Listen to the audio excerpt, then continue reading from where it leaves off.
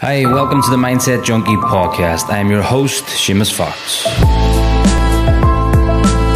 I created this podcast to inspire people like you, people who want to create change in their lives but possibly feel stuck. I love speaking with guests from all over the world who have created change in their own mindsets so that they can be the best and the highest version of themselves. They have greater impact on this world. So strap yourself in and enjoy the Mindset Junkie journey.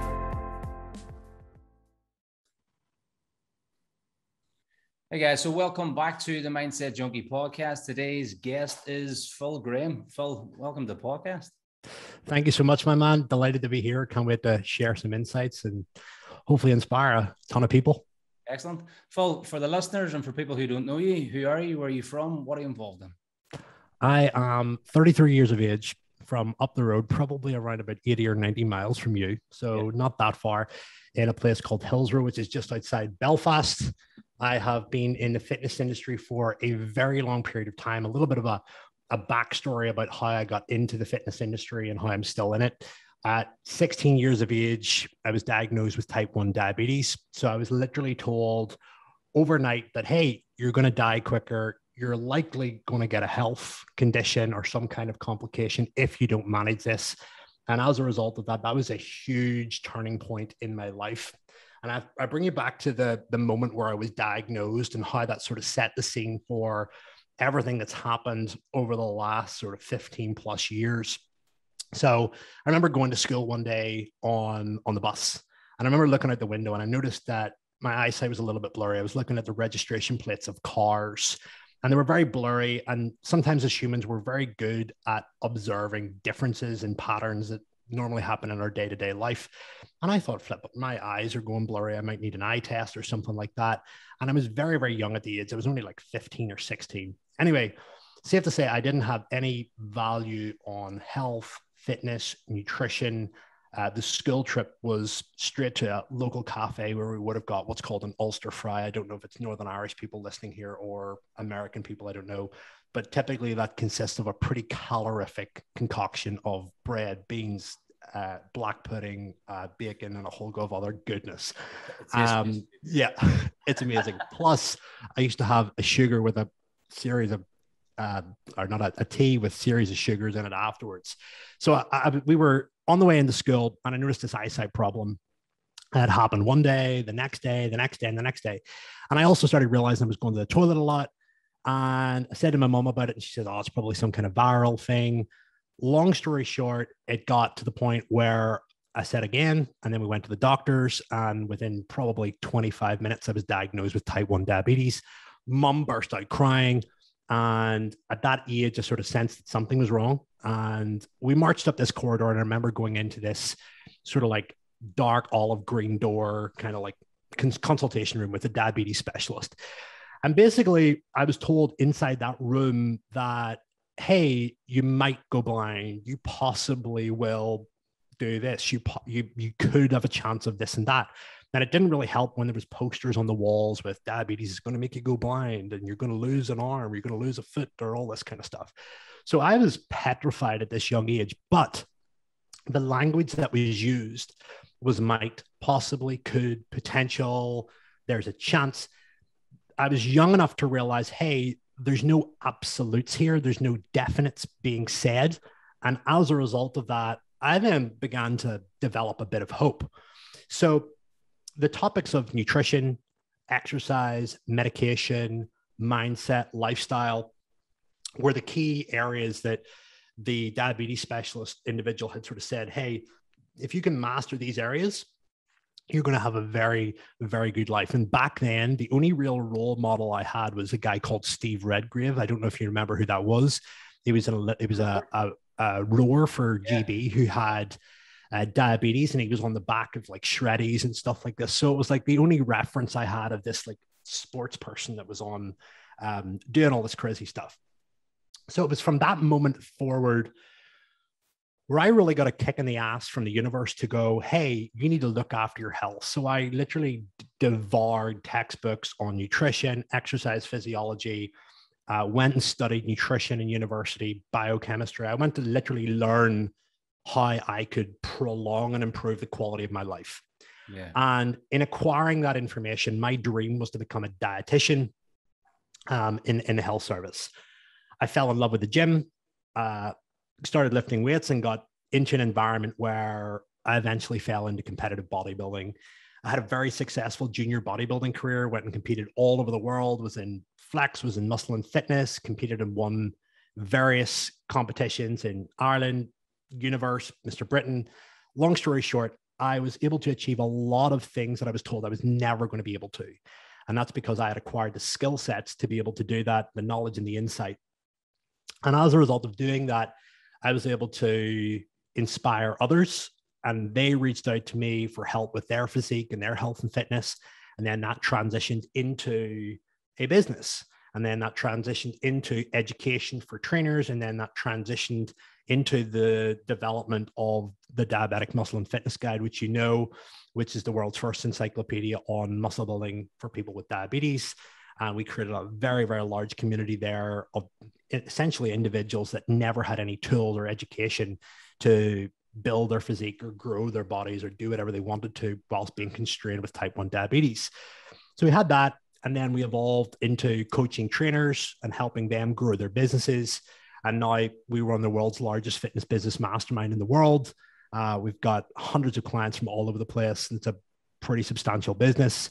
And um, yeah, we help a lot of people all around the world. So that has all sort of evolved from being diagnosed with type 1 diabetes, taking action on the areas that I needed to improve and essentially finding meaning and purpose from it. So, you know, like you just as you said that Phil like find the meaning meaning and purpose from it because that can go either way for like any individual like mm-hmm. one person might be diagnosed with the exact same thing and all of a sudden think fuck my life's over i can't do this i can't do that uh, and yep. it's it.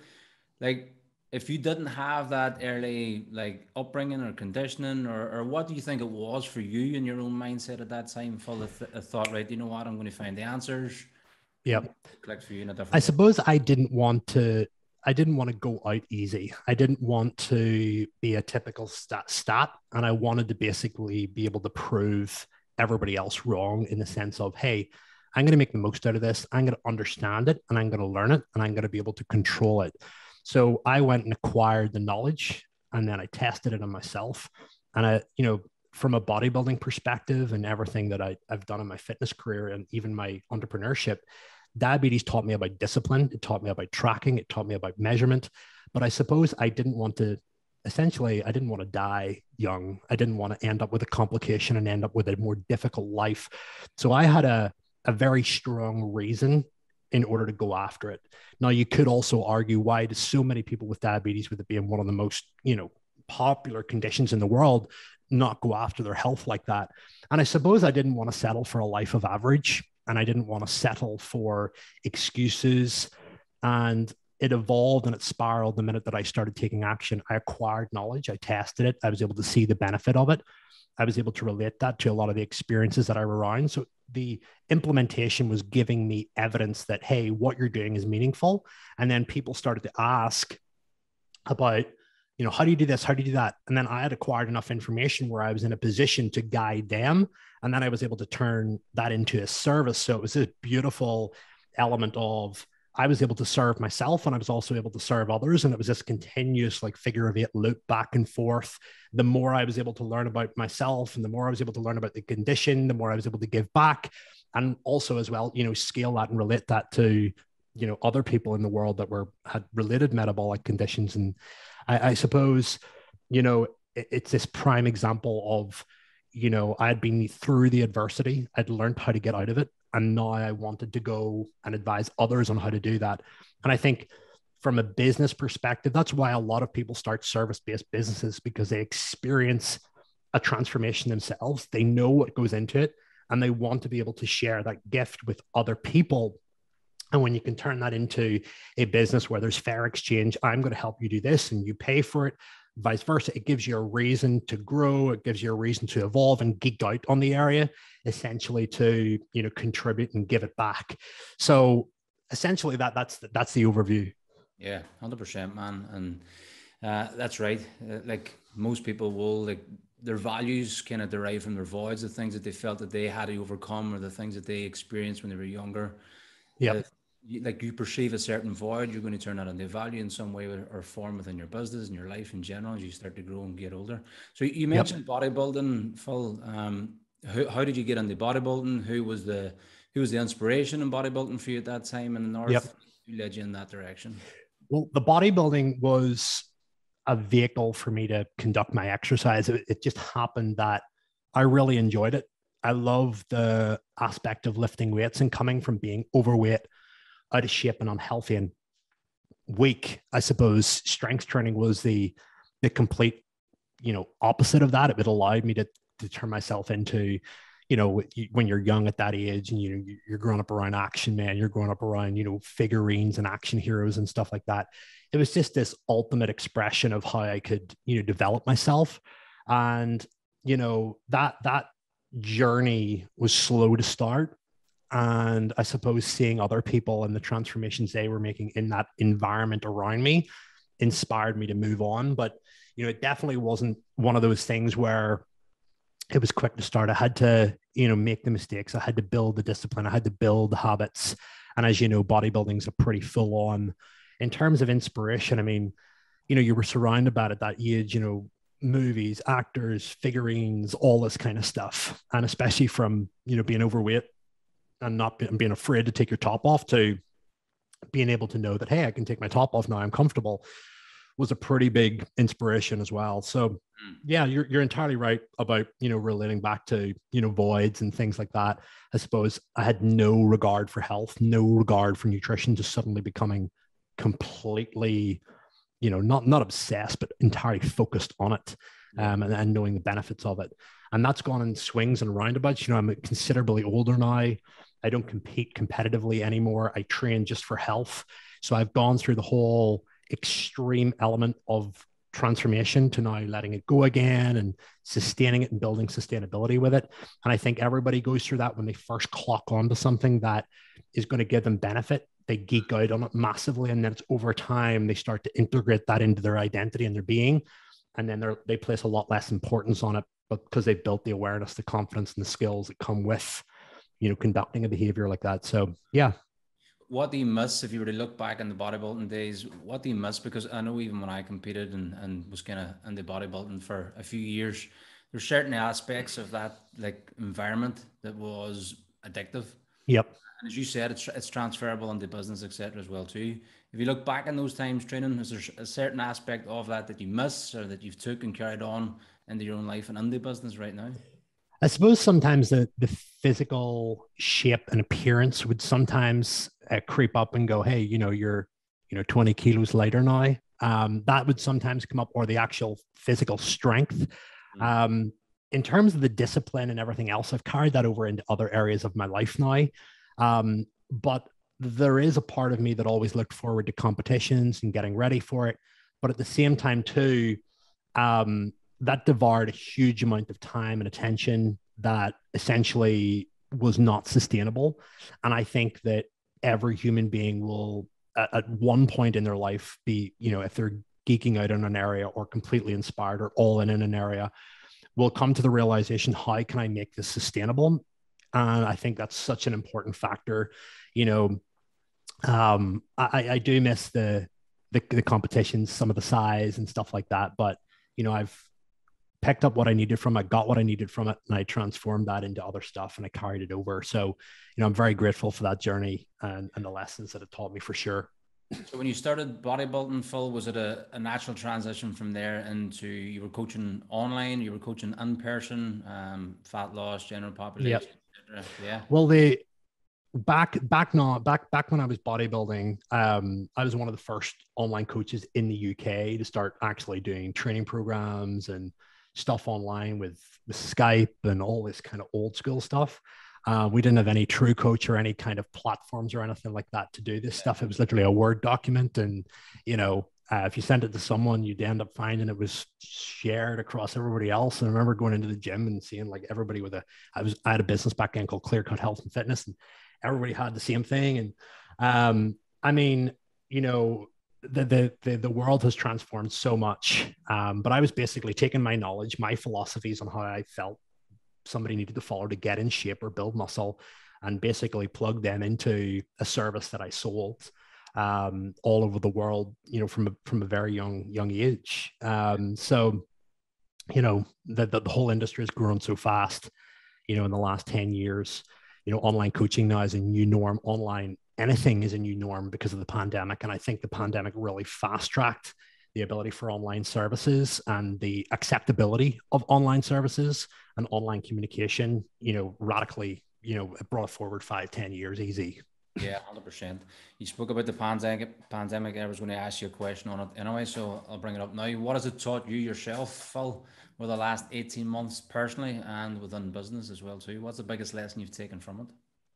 Personally, I, I think it's it's taught me quite a lot. Business wise, even more in no particular order, business wise, it's definitely taught me about the power of, of community and the sense of belonging that people really want to have. I think that's one thing about the pandemic is it really made people want to um, sort of become involved in something or have a belonging in something. It highlighted a lot of concerns around people's time management and purpose and mission.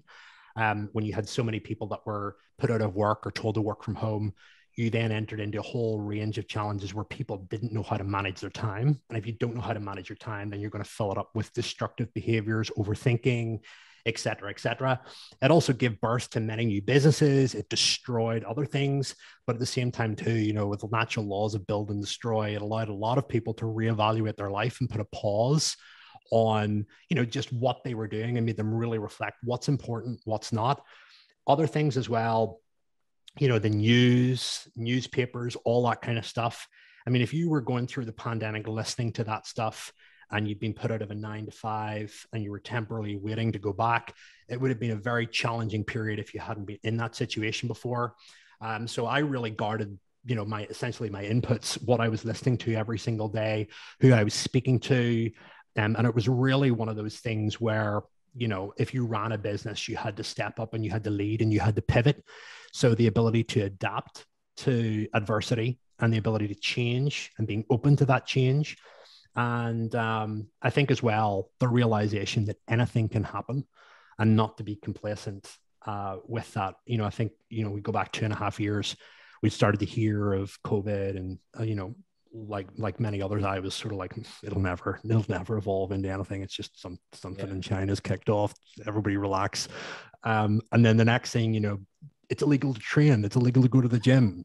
Um, you know, I, I you know, you know, no, without going into conspiracy theories or anything like that. Do I understand fully what's happening? No, I don't think anybody does. Uh, do I trust what's going on in terms of vaccinations and all that? Um, I think they're doing the best that they can. And I think, you know, I'm not going to go into one about vaccines and stuff because, you know, I was, I've had my vaccine.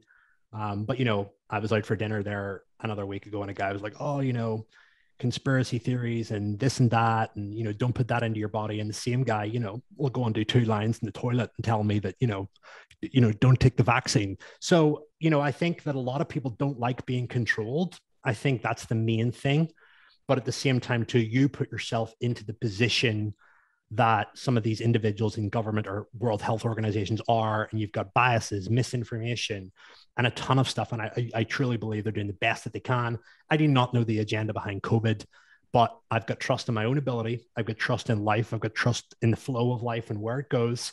And essentially it's not where i'm focusing my energy on. Um, so I, i'm pretty much immune to a lot of the anger and a lot of the anguish that people have around this area. Um, I think it's one easy subject to get riled about and talk about, but I have a, a vision and purpose of, of things in my life that's far bigger and more interesting than than COVID. So I think that's probably a big thing. Yeah. For a lot of people listening is to have something bigger than the challenges that you're facing in your life um, whether it's COVID or whatever like that. If you've got a vision bit bigger than that, you're not going to focus on that stuff. So yeah, oh, shit, man. And I think it because it is so polarized, like it's the, the extreme. You're either one way or the other. Mm. and last year, I got sucked into a lot of it uh, myself. And just as you said there, it's it's one of the most important things. Like closing your mind off and like controlling your input, the things that are either going to serve you or, or don't serve you. Yep. And I've done a lot of work on it myself and around other areas and coaching other people as well too in the same thing to create that balance and balance out those perceptions so that you yep. are in control and more objective. Yep. What What have you seen in terms of the guys that you're coaching um, uh, within the fitness industry? Like you're going to get guys who are taking more action and being more successful no matter what's going on. Like what are the similar traits that you've maybe seen over the last 16 months, 18 months within COVID? Between those who are going and doing exactly that that you're teaching, taking action, and those who aren't? What, what's the difference there? Yeah, well, a couple of things. I think first of all, in terms of clients and implementation, and people, this relates to any service, not just a fitness thing or a business thing. You're going to have a category of clients. You're going to have people that come in with big high hopes that want to do a ton of stuff but don't take action. Uh, two, you're going to have people that come in and take aggressive action, achieve what they want, then realize, hey, this isn't what I, what I wanted, and then tailspin out. And then you're going to get people that continue to take action and have got a vision and that are very aligned. The latter is very, very rare. So, in terms of what I've noticed from a business perspective, one, online services and online programs and online education and all this kind of stuff is far more acceptable and far more uh, desired than it ever has been before.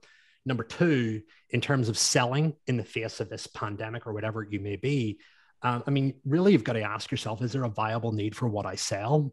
The answer is pretty much going to be yes, because you wouldn't create something that didn't solve a problem in the first place if you ran a business. And being comfortable selling that, no matter what the climate is. Um, you know, when you look at the pandemic, everything shut down, people were sitting in, social media usage went through the roof alcoholism went through the through the roof, porn went through the, the roof, all this kind of like high stimulus stuff went went crazy. Um, drug consumption went up, uh, domestic violence went up, all of this kind of stuff. So whether it's a mindset thing, whether it's a business thing, whether it's a fitness thing, there is a huge marked increase in the demand for that stuff for people that have not got any kind of routine or regime or discipline or have an unexplored area of life that they want to turn into a business, there's a much greater need for that stuff. And there's more people that have that problem and challenge than, than most people think. So, you know, selling services and programs that are aligned with solving those problems, um, you know, is is very is very important. So I suppose the the principle is, you know, continue to sell during a pandemic. Yeah, because even with people that I was coaching, and um, there was a certain sense of apathy, I think, for a lot of people. Like we're locked down, like there was a sense of apathy around their goals and the things that they had mm. planned. And there was also nearly a sense of guilt. I felt that for a lot of people that were afraid to say that they were doing well, afraid to say that they were being successful. Yep. And throughout history, this has always happened. People mm. have like done well in good times. People have done well in bad times. Yep doesn't really matter. But I definitely seen like within like my community anyway that there was a nearly a sense of people to say like feel afraid. They were feeling afraid. They actually said they were doing well during during the pandemic. Yeah, and I mean I think that's an environment thing, and you know you have to go in and you have to understand why that is the case.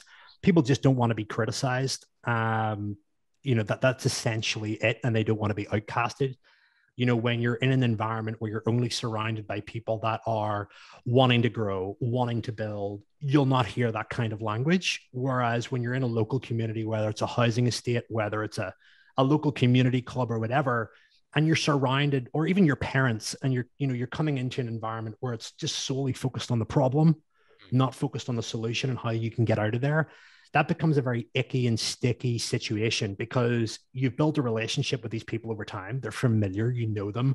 And to be outspoken is is something where you're going to face criticism. And the reason why a lot of people don't do stuff is because they don't want to see the reaction or deal with the reaction uh, because it's unfamiliar. And you know, I think you know we're we're both from Northern Ireland, where it's pretty pretty much a a very warped mindset around success, growth, uh, money. Um, you know, you go to central London or you go to somewhere like New York or somewhere where there's, you know, significantly more, um, dare I say, ambition, but entrepreneurship or people wanting to make something of themselves.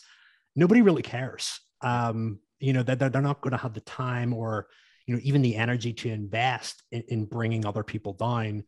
And I think that's a huge thing especially in Northern Ireland, I mean, you know, the, the way I've always seen it, and I've I've faced my fair share of criticism with close friends, even family, throughout the course of the year. Anybody that's been growing something has, but I think if you look at the evidence of, uh, you know, am I helping people? Am I changing lives? Am I getting paid for it consistently? Am I growing? Um, am I wanting to, you know, make this better and continue to provide a better service for my clients? If you've got those mindsets or that element of evidence in there, then you know a lot of people will make criticisms and try to pull people down with just binary thinking and not actually going right what are the actual facts behind what i'm saying?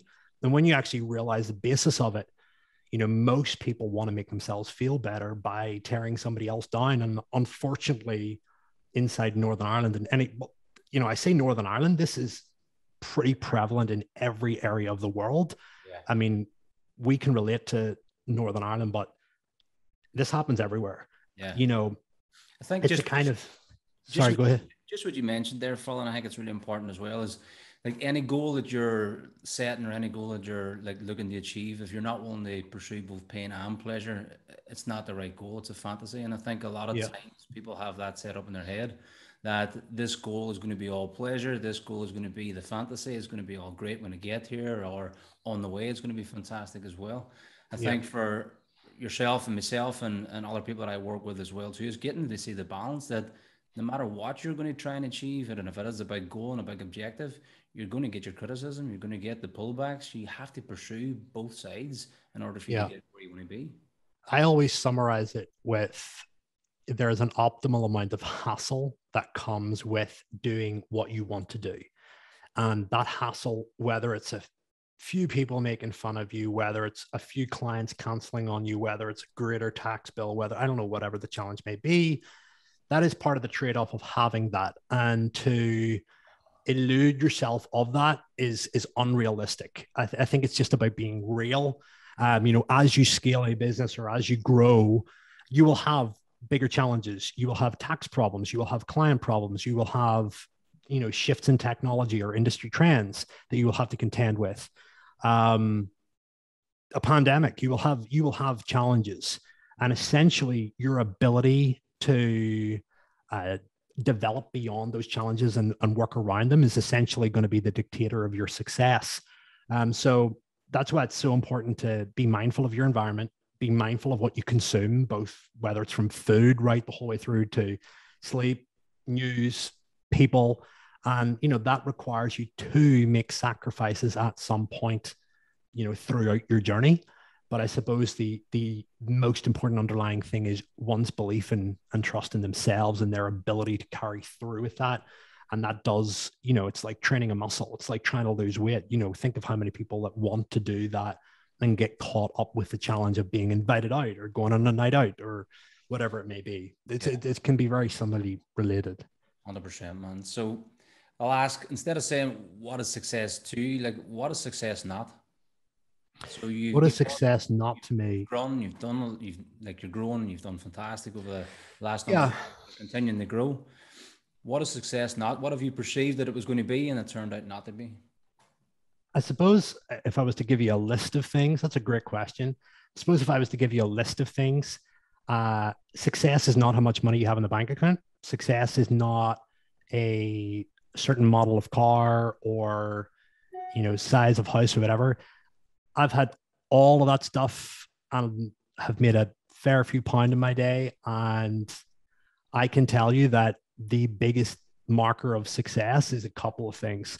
One the conversation that goes on in between your own two ears 24 7 two the ability to love and trust yourself when challenges come courage and also the fact that nobody can buy your time. I think those are, are great markers of of success. Um, you know, everybody looks at you know the materialistic outcome that is associated with building wealth, but they don't comprehend the challenges that come with managing wealth. I think, you know, one thing you got to be mindful of is when you have more wealth, more resources than you actually need, you have a lot more stuff to manage. And when you have a lot more stuff to manage, you have a lot more challenges and problems that can happen. Now, don't get me wrong, I'm not saying that one should not pursue that. I mean, wealth is a byproduct of simply creating something great, systemizing it, and growing. Um, so you cannot you can't hide from that. Um, but you know, when you've got uh, a ton of variables that you have to manage on a day by day basis, um, every human being has a certain threshold for what they need. And I think one of the most important principles that I can share and having helped a lot of people achieve financial freedom in their life, and I've helped a lot of people do that over the years, is getting the goalposts to actually stop moving and having the confidence and trust in yourself to know that you're going to be okay and you're going to be safe when you don't have to keep going after the next thing. Because with entrepreneurs, there's this dogma of always chasing more is better, bigger, better. I'm going to grow. But that paradox is where is all of this coming from? Why do you want to be better? Why do you want to make more money? Et cetera et cetera. When that is a sole focus it's coming from a place of lack and a place of fear and a place of i want to be safe.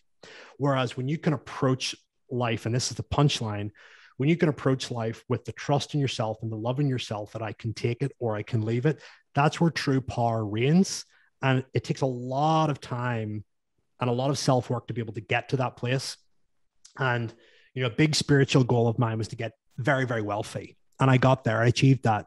And you have to go there to, you have to, get, you have to, first of all, not have it to know what it feels like with lack. Then you have to go there to have it. And the best place is living in the middle to know that you can live with it or live without it. Not um, you know, that is a, the, probably the biggest lesson that I could share with you.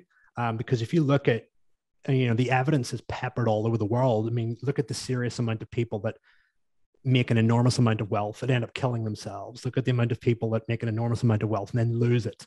I mean, you know, we're in a, a world now where, you know, somebody puts up, uh, you know, a picture of their finance car and a Gucci belt and they're considered wealthy. And the expectation of success is so far fetched and warped.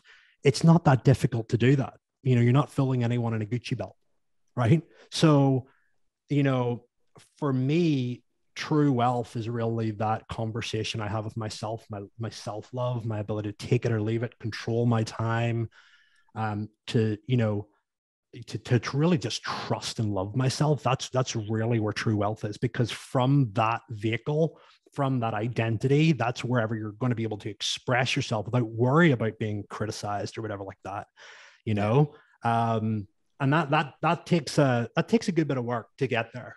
Um, uh, so yeah.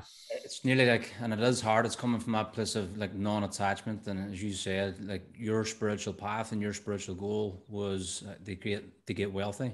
Yep. And there's nearly a conflict of interest there a lot of the times for a lot of people as well too in terms of spirituality. They think a spiritual path is to like sit in a lotus position and meditate all day and, and not pursue something but I like linking it to what actually gives you inspiration. Your spiritual mm. path is what you're inspired to do every single day and what you love to do every single day. And for you and me and other coaches and entrepreneurs, that's serving people and helping people and coaching people. So why not get the the benefit from that in terms of the financial gain, etc., from doing something that you're inspired by and what you actually love? Yeah, and you know a, a good proportion of that finance is put back into how can I serve more people and how can I create you know the systems or the team to to be able to refine that. And, you know, that essentially is, you know, for me to to do what I love, to get paid for it. Um, and at the same time too, to not place in a huge importance on on wealth. Wealth money is very important. Yeah. I'm a firm believer in that. Um, it's certainly not the only goal. I mean, you know, when you look at the areas of life, financial, you know, business, spiritual, physical, social, all of these different categories of life.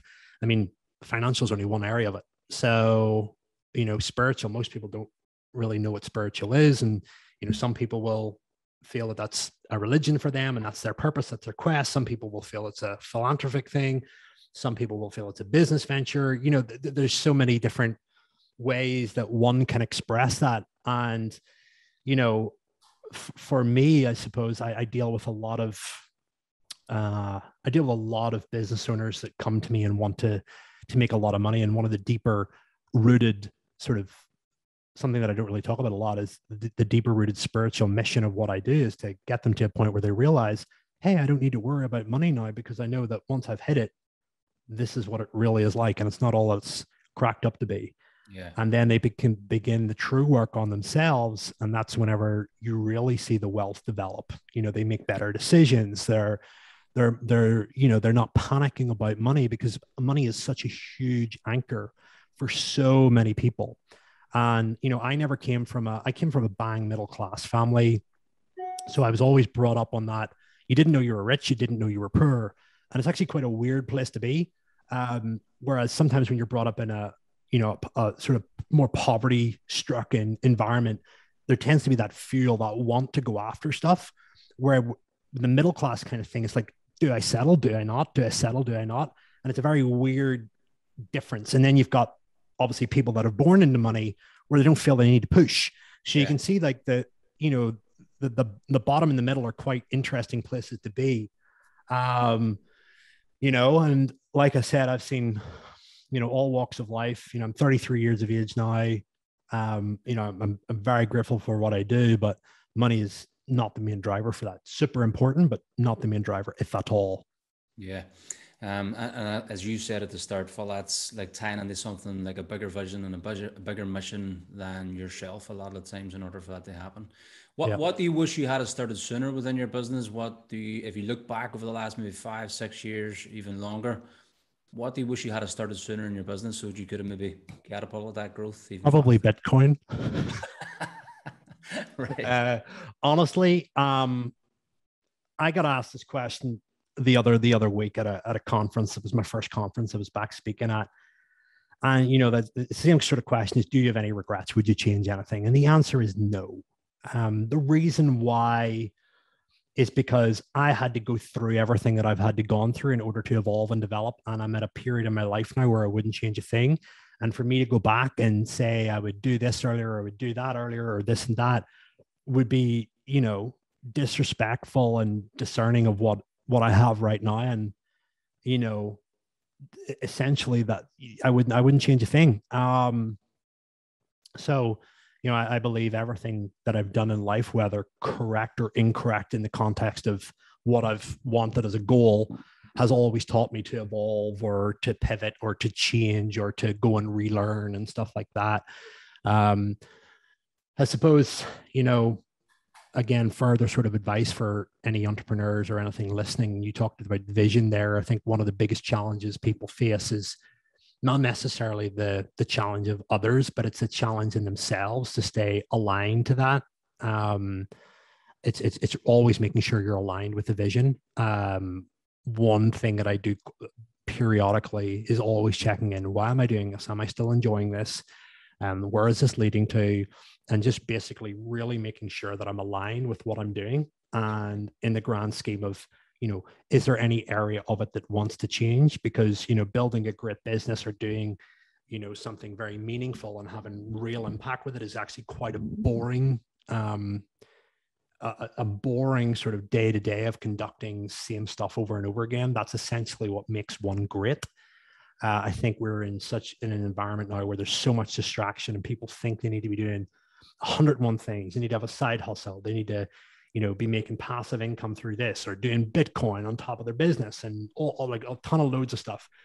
And you, when you look at it all, like they're very scattered, you mm. know? Um, so it's really just about, you know, making sure that your energy and your focus is going into the right areas of the business.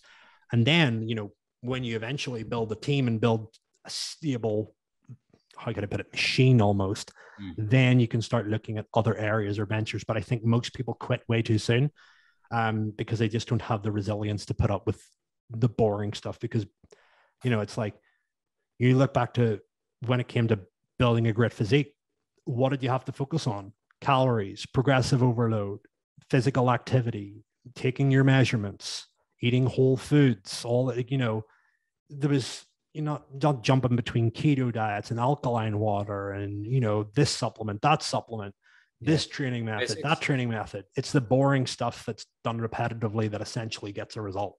Yeah, hundred percent. There's a great book called uh, "The Slight Sleight of Mouth," and he talks about that, and um, he talks about what success really is, and it's a mundane, yep. boring shit that yep people don't perceive. It's showing up and doing the emails, it's doing the posts, it's being consistent, with all the boring yep. stuff. People want the flashy thing, or they perceive that as the success, but yeah, not that at all. The the consistency bit isn't the thing that sells or isn't the thing that's marketable. Um, and don't get me wrong, you can certainly highlight a client success or a personal success and hook people in to let them know what's possible if you are consistent. Um, but at the same time, too, it's not, uh, you know, the advice be consistent isn't really that lucrative, you know. So uh, nobody wants to hear that stuff, but that's the truth. Yeah, hundred percent. So, what has shifted for you then since um, Penelope has come along? How has that shifted you? And uh, yeah, so, yeah. So for for con- yeah, so for context, I had a girl, a baby girl, about six six and a half months ago. Uh, she's developing a character now and a personality, which is amazing to see. Um, a lot of people have asked me what has changed for me, um, and you know, in in all honesty, she's definitely allowed me to appreciate and love life even more than I had. I'm not going to say that it's it's encouraged me to manage my time better or you know anything like that because I, I always did manage my time very well. I suppose it has made me it's, it's i was not a family person i was not a family guy. Um, it has definitely made me realize that we're all functioning as a unit in in terms of our vision for life. And that's again another key piece of information that I could, you know, share with all of you guys if you're in a relationship or you've got a partner or a husband or wife or whatever it may be, that the most important factor in that relationship is a shared vision of where you're going together. Because when you have that shared vision, you can then put up with the day to day of challenges, bad habits, behaviors, whatever. When you go a separate way and you want one thing and they want something else, that's when you're fucked. So you've got to, you know, me and Claire have a periodic practice every single week. We check in with each other. Um, you know, what are our wins for the week? What were our challenges? Um, is there anything I need to apologize for? Um, w- where do you need more help? What are your focuses this week? So we always make sure that we're aligned, and that that takes a ton of discipline to sit down and do that. You know, on a Sunday afternoon when you don't feel like it, it's got to be done. But from our relationship, it's you know I've been you know with Claire and I 13 years, been married like 11 of those. Mm. Um, so you know, it's been um, you know, I've held it together pretty young. Um, so you know, essentially that's that's important. Yeah. Um, as you said, like for a lot of time, I know for me that when my daughter was born, there was a lot of things kind of shifted for me in terms of right. There was a lot of stuff that had to change in my life at that time and taking on more responsibility. You realize then that it's not all just about you.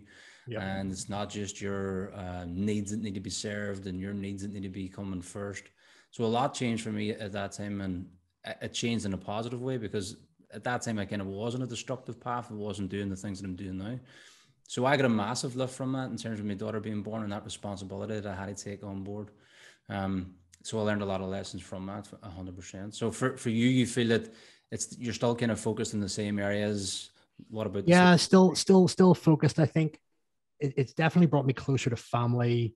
Um, I suppose, like you know, I, I always operated, you know, when me and Claire were together, even before Penelope was here, like, hey, this is all for us, and she's Penelope's not included in the us.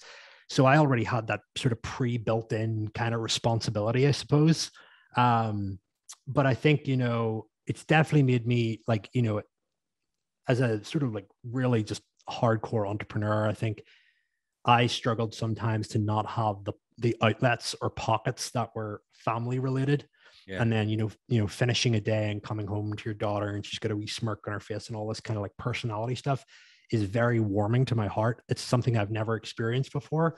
And it's definitely like a little pocket for me to enjoy that I that I didn't have before. And that, like I said, it's brought me an appreciation and, you know, wonder about, you know, life. And, you know, I think as well, you know, for me, I definitely want to uh, you know, as I say, upgrade the lineage of our family. I want to be able to, you know, bring that child up with a lot of the areas that I would have loved to have been taught in. And that's no disrespect to my parents. That's realizing that my parents only had the resources and the upbringing that they had to do their best.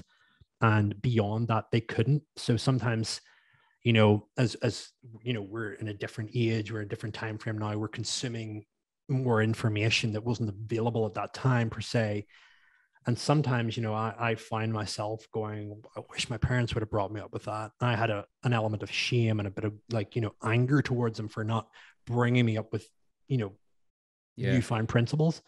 And I realized, you know, hey, my parents only had an upbringing and it was a lot tighter and a lot stricter and a lot more religious orientated than than what I have now. So I can give back. And, you know, I, I lived through, you know, again in Northern Ireland, very sort of like, you know, Protestant Catholic. I grew up in a very religious um, household.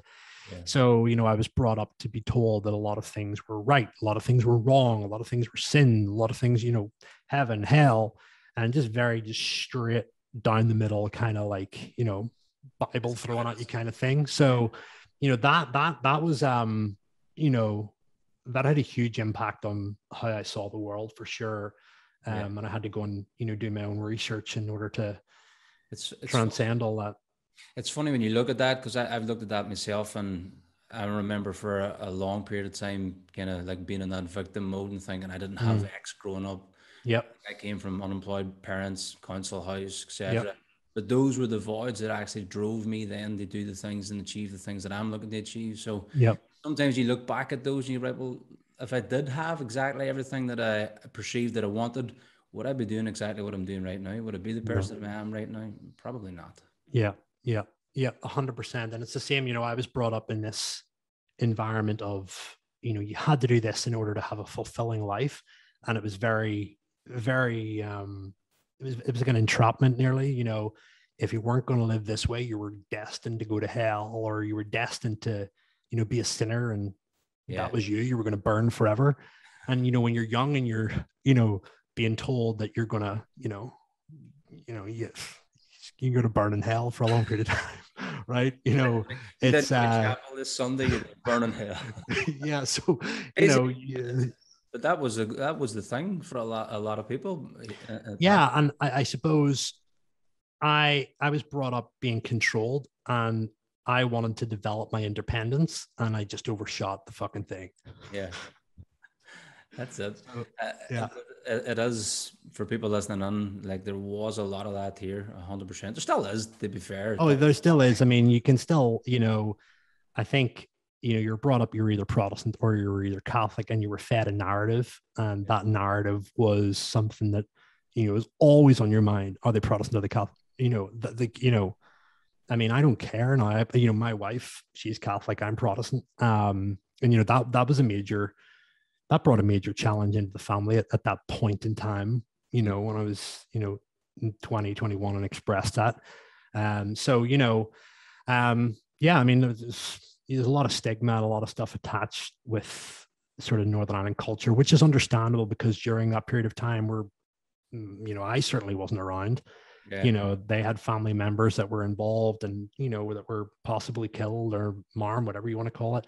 Mm. Um, you know, so yeah, I have to have to understand where they were coming from in their application of that. Yeah, thankfully, it's moved on a lot since then. Uh, yep. 100%. So, Phil, if you were to look back at that 15 year old who was scared and being diagnosed, and you could give him like a, a, phrase or a word or a message, what would it have been, or what would it be? I suppose the words would be "I love you" and "I trust you." As simple as that. Um, you know, I, I I tend not to worry about challenges and problems now because I, I go into perspective of, you know, realizing that if I was to look back at any younger age in my life right now and say something, it's always going to have the theme of those words. Mm. Um, and when I know that my higher self is guiding me to to make good decisions and make authentic decisions and stuff like that, I, you know, I don't really have challenges in life. You know, I'm sitting talking to you here on a thousand pound computer with a very expensive microphone. You know, I'm not you know, in Afghanistan holding onto a plane, yeah, you know, trying to fly out of the country, right? You know, the, whatever was going through that guy's head to jump on a plane and while it was taking off, I mean, you know, I think that's one thing, you know, we all need to realize, or anybody that's listening to this right now who maybe doesn't have a job or is overthinking things, you're probably listening on a thousand pound iPhone, um, you know, and realize that you don't have problems. You know there's not bullets flying over your head your kids haven't just been killed or assassinated you know.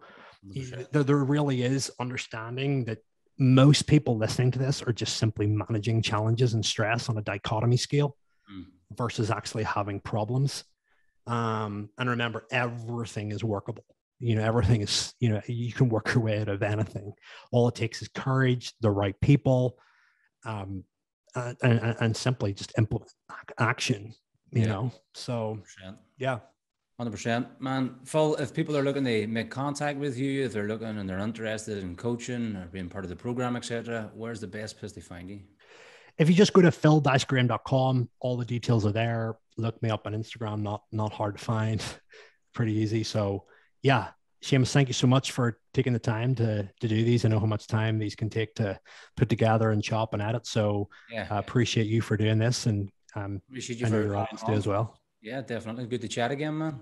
Yes, my man, absolute pleasure. Thank you so much. Excellent. Speak soon. See you, mate.